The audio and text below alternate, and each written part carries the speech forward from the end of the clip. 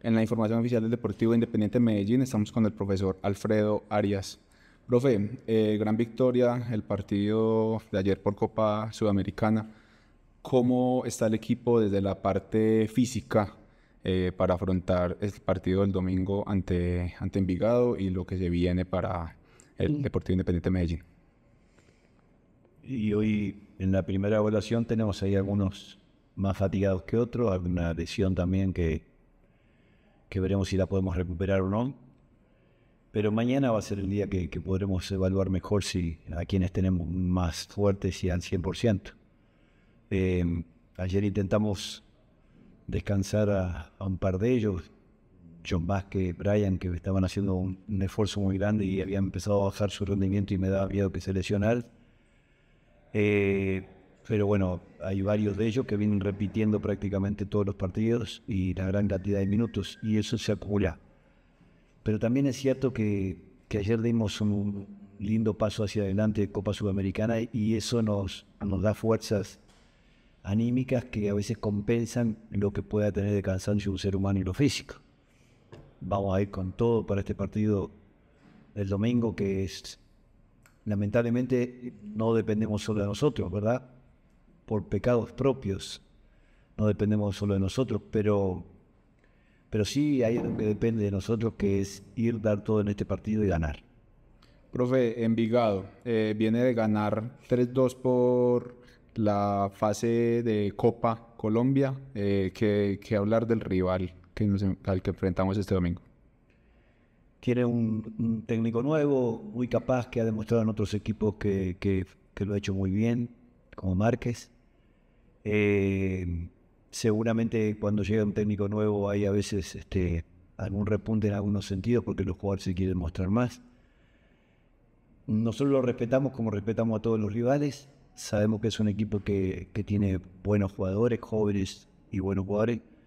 Pero como dije anteriormente, eh, lo único que depende de nosotros es nuestra entrega, nuestro nuestro orgullo, vamos a, llamarlo así, de, terminar esta fase y, poder clasificar. Así que vamos a ir con todo.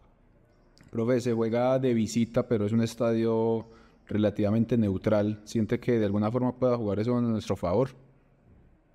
Pues, hoy día, y menos si es dentro de Medellín, la localía es, es, a veces un, un mero trámite, ¿verdad? No se sabe si es a favor o en contra a veces.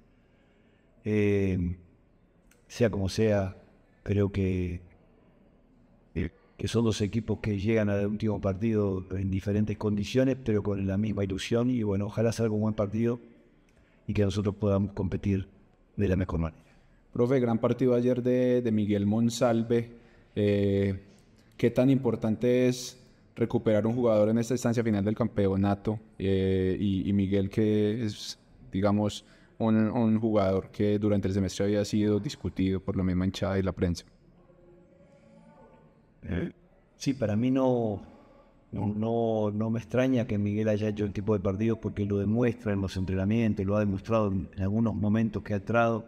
No se le había dado una actuación tan redonda como esta. Eh, yo ayer le decía a él eh, que quizás haya sido la mejor actuación individual desde que yo estoy acá de un jugador para mi gusto, delantero, ¿verdad? Porque en su posición hizo todo bien, todo bien. Y más encima llegó al área y convirtió. Pero además le agregó el sacrificio, el condonor, el correr, el no entregarse, el presionar. Es joven, es joven, como hablé de otro día de otros jóvenes, Miguel este, es muy joven y tiene eso a su favor también. Pero a veces esa juventud juega contra en cuanto a la desesperación por querer lograr cosas antes de, antes que el tiempo lo marque. Yo creo que esta actuación para Miguel y para nosotros es importantísimo porque vamos a tener un jugador ahí que, es muy, muy, muy necesario. Profe, eh, confiando en, la clasificación, eh, ¿cree que también va a tener la oportunidad de utilizar más a los juveniles, digamos los que por ahí no han tenido tanto rodaje eh, y no han completado los 90 minutos? ¿Cree que puedan llegar a ser titulares en, determinado caso. Sí, la mayoría de ellos ya han sido todos titulares y han ido alternando por lo propio que explicaba el otro día en una conferencia de prensa. No, no quiero que ellos sean los salvadores de, un momento que es difícil. Para nosotros en este semestre ha sido difícil. Ellos no pueden ser los salvadores, tienen que ser sí los que aporten desde su juventud la frescura que nos puede dar al equipo, ¿verdad? En, tanto en el juego como en el hambre de, conseguir cosas.